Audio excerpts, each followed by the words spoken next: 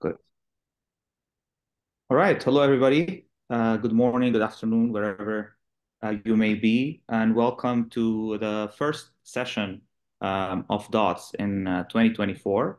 I'm very excited to uh, welcome our first speaker for the day, Professor uh, Marleen Balvert from Tilburg University. Marleen works on optimization and data science problems uh, that have direct social impact and her research aims to answer questions related to bioinformatics and food security, uh, where she is also part of the Zero Hunger Lab, as you can see in her uh, Zoom background. Um, and she uses data and analytics and optimization uh, to help uh, non-governmental organizations achieve uh, the Sustainable Development Goal 2 of uh, Zero Hunger. Um, and she also works on the development of methodologies for data analysis uh, for the large uh, genome data sets. And the goal of these methods is to identify some genetic characteristics, uh, such as susceptibility to diseases um, and things of that sort. And, and she does that with uh, collaborators in those domains. So today, I believe she'll tell us about uh, one of these methods, uh, which is Ireland. So Marleen, please take it away. Yes, indeed. Thanks, Elias, for the, for the lovely introduction. Um, so as Elias already mentioned, uh, I work mostly on uh, genome data analysis and develop methods to analyze such data. Um, and one of those methods is uh, fairly recent. It got uh, published in Informs Journal on Computing last week or the week before. Um, and it's called Ireland. That stands for Iterative Rule Extension for the Logical Analysis of Data. So in half an hour, you will know all about uh, why this name and what it means. Um, so first of all, uh, this is a method that helps analyze uh, data. So that means that it is basically a machine learning. And to go all the way back to the beginning, I'll give you a quick recap of uh, what a classification problem means. So when we have a classification problem, we have a bunch of data. We have n samples. And for each of these samples, we have some known information the independent variables, and we know them, denote them by x. Uh, and we have a dependent variable, y, and the dependent variable is what, what we want to predict. Now, in classification, this dependent variable is a class that could be k classes, um, but often you will see two classes. Um, in the uh, research that I work on, you often have uh, genome data, so the genetic information of a whole bunch of people, some of them do have the disease that we're studying, and some of them do not have the disease that we're studying. So then you have a binary class, a zero or a one. But in fact, this is everything that I'm going to tell you today can be extended to multiple classes as well. Now, the goal in any classification problem is to find the relationship between this class y and the independent variable x. Uh, in my case, this is this x is genome data. And you can denote that by y equal to f of x. So we're interested in this relationship F. And as an optimization expert, you can then be interested in uh, creating a model that determines the class of a new sample. Now, this modeling, uh, that becomes very interesting uh, if you look at this functional relationship y equal to f of x. So what does this function f look like? That is where uh, we have to make a couple of choices. Now, if you're just a user of machine learning, um, then you need to make, first of all, a choice of which specific machine learning model you use, because that specific model imposes a functional form of F. Um, you have, for example, logistic regression, then you assume a linear form. But if you go more advanced, random forest support vector machine, you assume all different kinds of forms. If you use a deep neural network, you pretty much assume no form at all because that is super flexible and can learn pretty much anything. Then once you've chosen your model type, uh, you will optimize your parameters uh, such that the prediction error is minimized. Now that is if you would use uh, classification, uh, machine learning for classification, um, but I will go one step further. I will go into developing these machine learning models that impose a specific form. And in this talk, uh, I'll look at one specific form that is specifically relevant for uh, genetics data. And that, look, that's too fast, that is a Boolean phrase in disjunctive normal form. Now, a Boolean phrase in disjunctive normal form, or DNF, looks as follows. If uh, a sample has characteristics A and B and C, so here we have an AND clause, or they have characteristics X and Y, or they have characteristics, well, a whole bunch of them, then we classify them as a case, and otherwise we classify them as a control. So basically, we're setting a couple of uh, conditions uh, for a sample to be a case. Um, and of course, these AND clauses could be of any size. Uh, this would be a, a, hyperparameter in the model. And of course, you can also choose any number of AND clauses that you include in your Boolean phrase in DNF. Um, also, I think I forgot to say at the beginning of the talk, but if at some point you feel like things are unclear, feel free to ask questions uh, already, because it's always good to understand before we continue. All right, so what does this look like in genome data? Well, it looks as follows. I already mentioned that I look at data where uh, um, some of the people in the data set have the disease that we study and others do not. And of course, we're interested in which genetic characteristics cause the disease or lead to disease. So in the case of genome data, we would say if somebody has genetic variants, G2 and G892, and some other genetic variant, or if they have two uh, genetic variants that we're interested in, etc., then they are susceptible to the disease. And this is actually why I'm using the Boolean phrase in DNF, because this is exactly how, uh, from a biological standpoint, you can look at the cause of genetic diseases. Um, sometimes we know that a single genetic variant causes a disease. This happens in specific forms of cancer. Uh, sometimes we know that a combination of genetic variants, uh, variants causes a disease. And we also know that usually there are multiple combinations of genetic variants that each independently of each other could lead to the disease. So this Boolean rule in DNF is very um, close to how we think about it biologically. So that means that if we have a machine learning model that can analyze genome data and then give you results like this, then that's very useful uh, when understanding the disease, first of all, and furthermore, as a next step uh, for um, developing drugs. Now, such models exist, However, they usually cannot handle very large amounts of data.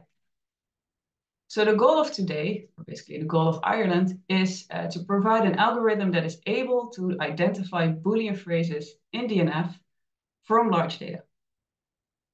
And by large data, I mean uh, databases with uh, thousands or tens of thousands of individuals and often millions of variants. Uh, we will not reach the millions of variants today, but this is the data that we're looking at. All right. Now, the model that already exists uh, is a mixed integer program. Can I, can I ask a, uh, just a quick question, Marleen? Yes, of course. So um, I know that early on in machine learning, uh, when people were starting to do kind of learning theory and figuring out what is learnable and what is not learnable, this problem of um, learning uh, disjunctive normal form uh, was the main type of type of model, right? That is kind of non, you know, non-linear. Uh, you know, it's not just, just a linear model. Um, and people did theory there. So is is this essentially the same problem, but being approached more from a computational and also scalability perspective? Yes, it is. So indeed, the, the problem was, um, I think two or three decades ago, shown to be uh, very hard. Um, mm -hmm. But algorithms have been developed indeed to, to look from a computational perspective to see uh, how far we can go in terms of mm -hmm. the mm-hmm. amount of data that we can analyze. Yeah, exactly. Okay, nice. Thanks. Thank you. Um, so the most successful method um, of a couple of years ago uh, was an integer mixed integer program, um, and it was used in several papers. And the two papers mentioned here were research uh, were published by uh, the Dutch Cancer Institute. Um, so let's have a look at what this mixed integer program looks like. And here you see again this, the standard form of a DNF rule. And how we should think about it is that we have a bunch of AND clauses, which we choose ourselves. Um, and for each of those AND clauses, we need to decide uh, which features, which variants are in that AND clause. So we need variables that choose that. Uh, so, and for that, we introduce binary variables sjk. sjk equals 1 if feature j is an AND clause k, and we have capital K AND clauses, and 0 otherwise. Okay, good. If we now know if the model has chosen which uh, features are in each of the AND clauses, then of course the model also needs to decide for each of the samples whether or not they satisfy each of the AND clauses. So we have another bunch of binary variables, t and k equal to 1 if sample n satisfies AND clause k, 0. Now, if we know t and k, then of course we can also make our final prediction um, because a sample is classified as a case if it satisfies at least one AND clause. And for that, we have variables y hat n, which is binary again. And of course, you can um, uh, formulate constraints that make sure that the relationships between S, T, and Y hat are correct. There are a couple of formulations that you could use, um, some of them more efficient than others. Um, uh, but I will not go into them here because that would not fit in time. Now, of course, as an objective, we use uh, minimizing the classification error, as you would pretty much always do. Now, if you look at this, you already see that we have a lot of binary variables, making the problem uh, difficult to solve. Uh, SJK, we have two times the number of features times the number of AND clauses. And we have the multiplication with two, because a feature could either be in the AND clause or not having the feature could be in the AND clause, so the negation. Then we have uh, number of samples times number of AND clauses variable t, and number of samples uh, of variables y hat n. So that's a there's lot a of question. Uh, there's a question in the chat from Imre. Is there any restriction on the number or length of the clauses? Um, you can place a restriction. I always place a restriction. And again, what that value is, is then a parameter that you have to choose yourself. Um, so a hyperparameter to be optimized, basically. Yes. Yeah. Uh, the main reason why uh, why I would use uh, a cap on the number of uh, variables is uh, that if they grow too large, they become very difficult to understand. And the problems that I work on, the main goal is to understand what comes out. Um, if you would not impose uh, a maximum, the model will not, will most likely not make extremely large uh, AND clauses because the more features you have in an AND clause, the fewer samples satisfy it. So either it will lead to overfitting or it will not be interesting to use that much. All right. So the main issue is here in uh, the number of variables s and t, where we multiply by the number of AND clauses. So that causes quite a problem. Uh, for that, uh, what we can do is we can split up the problem. This was also done before. Uh, and we split it up into a master and a subproblem. So what I'm going to explain now is very close to column generation. And in the case of Sanjeev Dash and his colleagues, it is actually column generation what they used. So there's a subproblem. And in the subproblem, we generate one new AND clause. And if you do that a couple of times, sorry, you end up with a pool of AND clauses. Now then, in a master problem, form that pool of AND clauses, you can select those AND clauses that form the best Boolean phrase. You get some shadow prices, etc and you return to your subproblem. And you keep iterating until you uh, know that you're at an optimal solution or that your solution is sufficiently good. So this is what was done um, already in a few papers before. Now, why this is nice, you can probably see this coming already. The variables sjk and t and k now have the subscript k. But if we only uh, create one AND clause, then we do not need the subscript k anymore. And the subproblem has way fewer variables uh, than the original problem. All right, so that's very useful. The subproblem that we then can formulate basically says minimize uh, the number of samples that we got wrong. And of course, we have some constraints that the relationship between T and S is correct. All right. Now we made a slight uh, modification to this. And uh, why I will explain that to you later. But for now, uh, let's just assume that we make this modification. Instead of minimizing the error, what we're going to do is to maximize the number of cases that are actually classified as a case by this AND clause. while of course restricting the number of controls, so where the actual class is zero, um, that are wrongly classified. So we, we put an upper bound on the number of controls that are classified as a case. And this is a fraction of the total number of uh, controls that we have. So it changes the problem slightly. Uh, and we get a subroutine that looks as follows. Again, we have our subproblem. And this time, uh, this subproblem has a specific upper bound, UBU.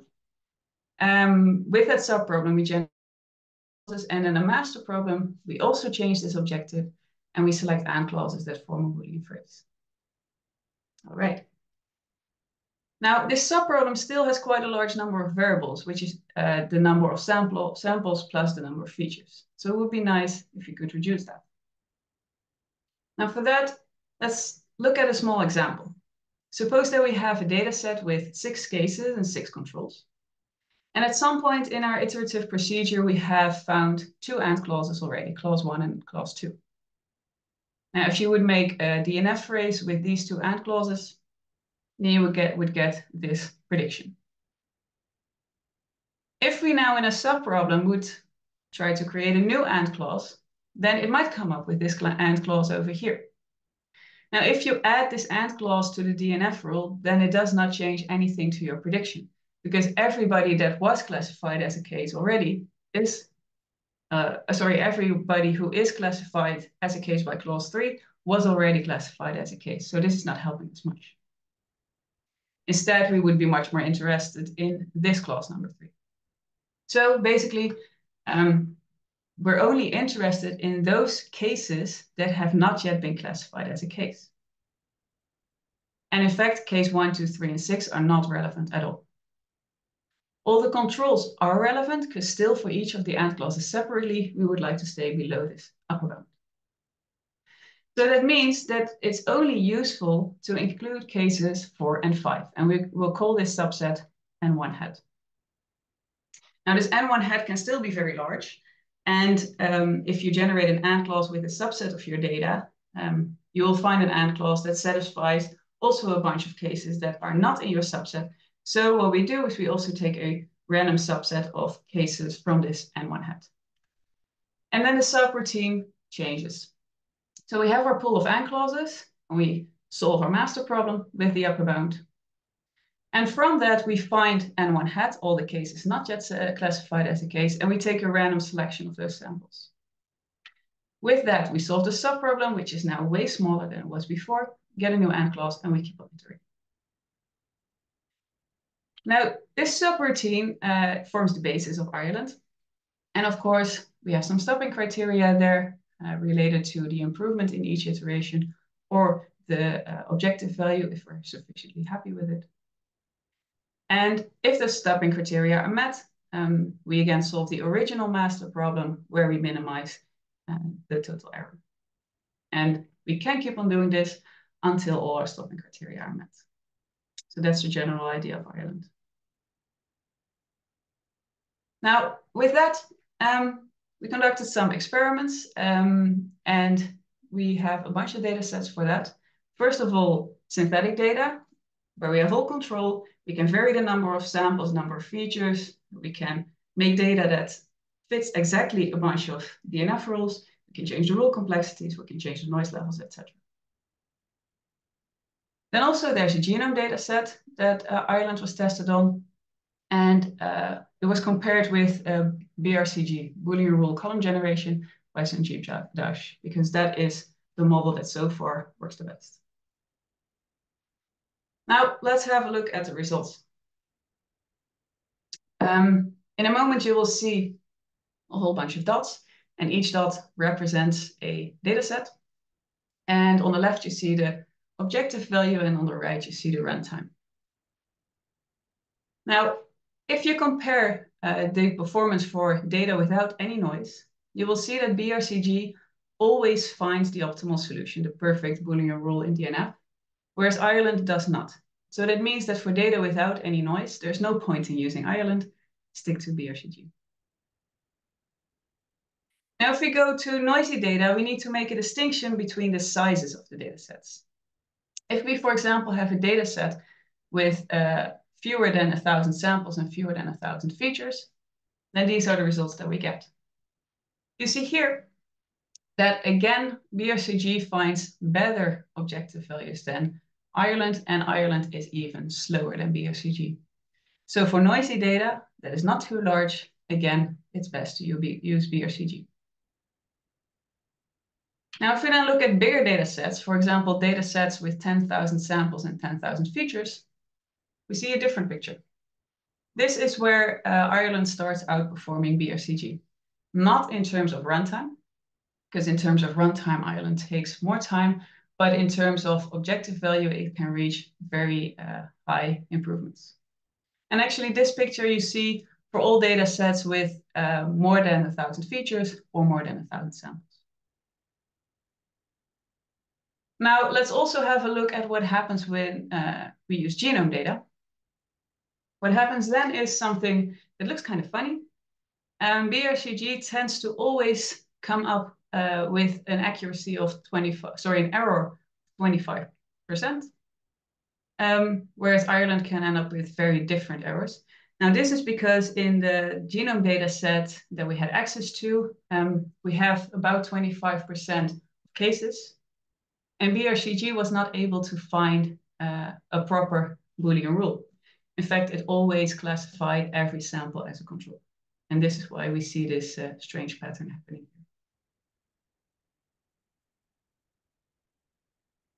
Now, if we then look a little bit closer at what exactly comes out, here we have one example for one data set.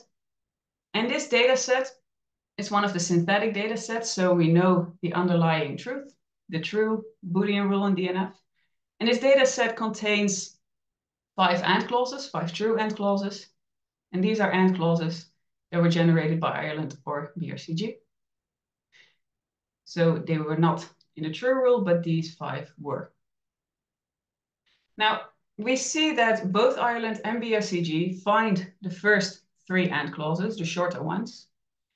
And these are AND clauses that also had sufficient evidence in the data, sufficient number of true positives and very few false positives.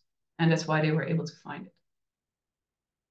Then both Ireland and BRCG found other AND clauses um, that try to uh, classify the remaining cases. Now, this is where the difference comes in. And this is uh, also where the difference in performance comes in. Then there's one final aspect uh, that uh, is actually very helpful about Ireland.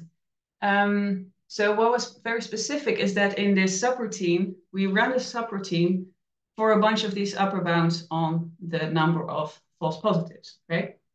And in any machine learning problem, you always have a trade-off between having more true positives, which also causes more false positives, versus keeping the false positives down, but also having fewer true positives. So basically, the sensitivity specificity trade-off curve. Now, with Ireland, what we did is we generated a pool for various upper bounds. So that means that in the end, if we want to do, uh, if we want to use weights on the number of true positives and false positives, then we can vary our balance between sensitivity and specificity. And then it is very easy to generate this Pareto curve um, using that bunch of, uh, uh, of AND clauses that each have a different trade-off. So to conclude, Ireland has led to a computational speedup for large data sets. For small data sets, it doesn't work so well, but for large data sets, it does. And this is mainly due to parallelization. So the subroutine for different upper bounds, you can easily parallelize it. Also has an advantage of generating this uh, efficient sensitivity specificity trade-off curve, which is what many practitioners are interested in. So what's next? That brings me to the future. Uh, currently, I'm working on using Ireland uh, for identifying new genotype-phenotype relationships. And that's in two specific projects. Uh, one is with the Dutch ALS Foundation. So ALS is a neurodegenerative disease, which we know uh, that has a genetic basis. Um, and at a, a, university medical center here in uh, Utrecht, uh, there has been a massive data collection. So soon we will try this method on their data. And second, I'd like to look at crop data. So here in the corner, you've seen the Zero Hunger Lab. Um, I'm a part of the Zero Hunger Lab where we use data science to help NGOs uh, do their work better. And one of the things that's interesting is uh, which genetic characteristics lead to crops that grow well in certain environments. And so that's also a project to be worked on soon. And with that, thanks to the Dutch Research Foundation for uh, funding this research, and thanks to you very much uh, for your attention. All right, great. Thank you very much, uh, Marleen, for a great talk. So uh, we'll ready to take uh, questions. So if you're if you're in the audience, uh, you can either unmute your mic and ask your question uh, directly, and maybe raise hands first, just so that if there's multiple people, whoever uh, raise their hands first goes first. Otherwise, you can also type your questions in the chat, and I will relay them to Marleen. Okay.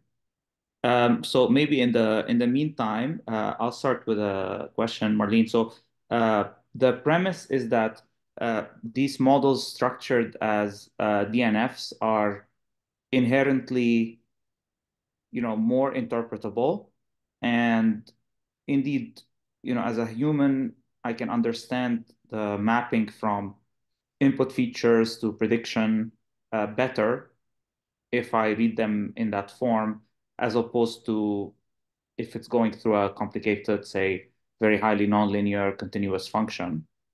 Um, but uh, there's this ongoing uh, debate as to, you know, the value of the value of interpretability. You know, what does it mean? What additional certainty in the mind of the user does this add?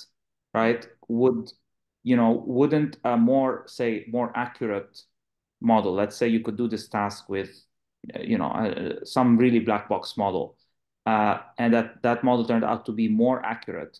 Wouldn't you know? Isn't that a testament that that model somehow, you know, understands or uh, picks up on the mapping, on the true mapping, better, for example? And then in that case, what is the what is the added you know added value of the interpretability and maybe from application perspective there's some arguments yeah. there yeah, so this really depends on your application. Um, I can imagine that in some cases you're purely interested in the classification, and that mm -hmm. if a new sample comes in, you just want to do the classification and that's it, and it has to be as good as possible. Then indeed the interpretability is not that relevant. Um, mm -hmm. uh, there are a couple of cases where the interpretability is essential. So, for example, in these genome data sets, we can classify, but if we don't know why the classification happened, then we also do not know uh, how to develop new treatments because we do not know which genetic characteristics to target. So mm -hmm. here, uh, in that case, interpretability is more important than the actual accuracy, of course, provided that the accuracy is still reasonable, because otherwise you still learn nothing. Um, but there, interpretability is vital. Um, also in um, several other cases where it concerns, mostly concerns uh, decisions re regarding human beings. Um, there's, for starters, the, the European law that requires when a decision is made, you should be able to explain why. And mm -hmm. also specifically if you work with vulnerable groups, um, which at the Zero Hunger Lab we do a lot, uh, then mm -hmm. you definitely want to know what's going on. I hope that answers your question. Yeah, fair enough. No, the the the latter explanation I feel like is very reasonable because it allows for some kind of accountability or transparency. But the first one, I think, about uh, using the using the predictions in order to take another subsequent decision, right? Uh, in terms of like drug uh, development, etc., is interesting because it feels to me that it relates to you know, considering prediction optimization problems together as opposed to separately, right? So sometimes people will want to build the most accurate uh, predictive model regardless of what you will do with the actual decision because the you know typically we think in ML as the classification being made is the final yeah. outcome, right? But usually in practice you have to do something with that. Uh, and that's not taken into account in the training of the machine learning model itself in any way, right? Because you're just training to maximize accuracy on a training set. Exactly. Exactly. All right. Uh, any other uh, other questions from the audience? Okay, so uh, so Sina asks in the chat. Uh, so they start by saying, "Great talk, Marleen. Can you please remind me of the number of clauses in your solution uh, for the genome data? Number of clauses." So what I used in the genome data is a maximum of 10 clauses, and uh, sometimes it uses up the 10, sometimes it doesn't, um, but it usually is quite high. So um, in, in genetics, we expect very involved uh, relationships, and that's why uh, this number should be quite high. Okay, very good. That should uh, answer it uh, very clearly. Uh, other other questions?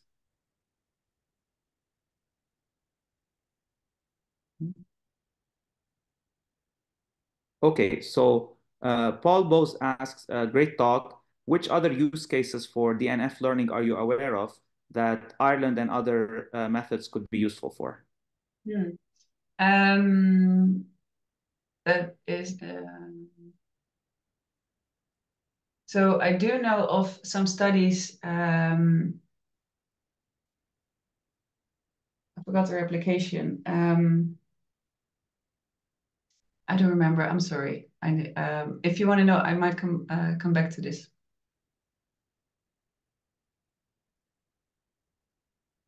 Good. Yeah, I mean, I would say, I don't know, in, in general, the area of interpretable uh, models is quite popular and DNFs are similar to decision decision rules, like if else then type models. Uh, which are also special cases of decision trees. So I feel like, you know, anything that uses those kinds of models could potentially uh, use like the more uh, DNF type type model to, to make predictions. Yeah, and even the, the decision trees, uh, you can sometimes reformulate them into a DNF and vice versa. Um, although uh -huh. there might cause some some complexity issues, um, but those are highly related. Yes. So I actually had a question related to that for um, comparison for non-optimal models or maybe optimal decision trees or something like that. Um, have you tried heuristic approaches to see how well, what's, is there a trade-off for the um, optimization side of things? Right. Um, what do you mean? So I, I guess what I mean is um, maybe it, it, you don't take as much time to get to the optimal solution. You don't get the convergence, um, but how does the accuracy improve if you or how how much trade off would you take from accuracy if you don't need to spend as much time um, on learning a good model?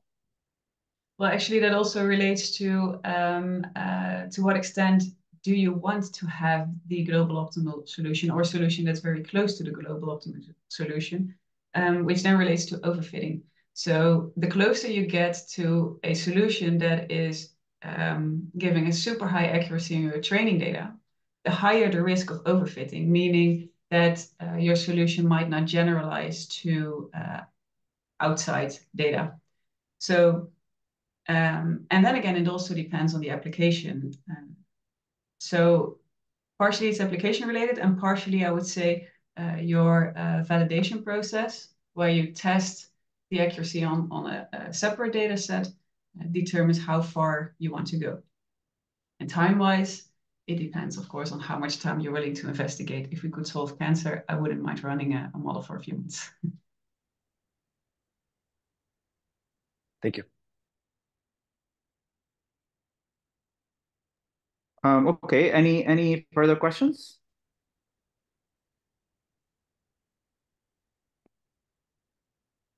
Okay, if not, uh, uh, Alex, um,